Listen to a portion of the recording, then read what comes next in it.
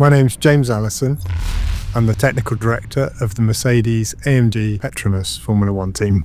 The driver needs a car to respond with exquisite accuracy, with immediacy, supported by the machine that has been designed to be responsive to their needs. And similarly, the Qualcomm Oryon CPU has been fully custom designed to deliver just that same experience to the user.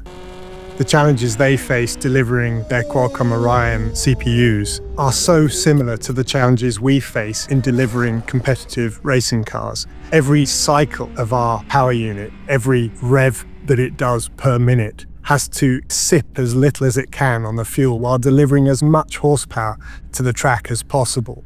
It's uncanny how similar that is to the Qualcomm Oryon CPU.